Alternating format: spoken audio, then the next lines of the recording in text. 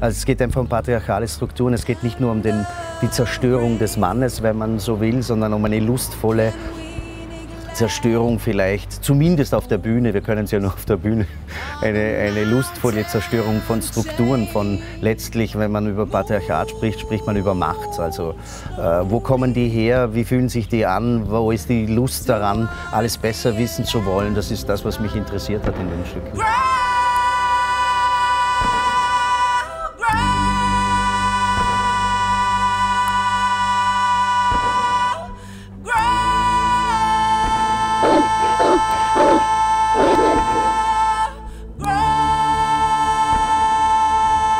Äh, mir ist es wichtig, keine fertigen Botschaften zu liefern.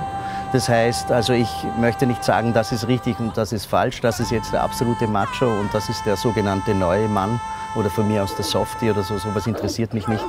Äh, wir arbeiten da an der, an der lustvollen Zerstörung eines Bildes und was man dann daraus lesen will oder kann, überlasse ich dem Publikum.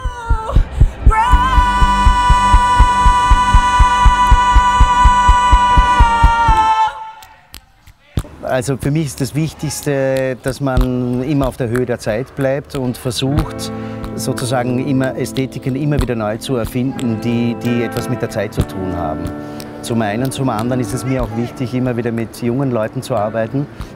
Da kommen ja dann auch andere Inputs daher und dann ist es einfach wichtig, für mich wichtig, ein Theater zu machen, das sozusagen nicht äh, im im klassischen Sprechtheater picken bleibt, sondern dass man auch versucht, verschiedene Elemente einzubauen, wie jetzt zum Beispiel Musik oder auch, oder auch Video jetzt von der, von der Claudia Virginia, äh, um, da, um da sozusagen andere Ebenen auch zu öffnen.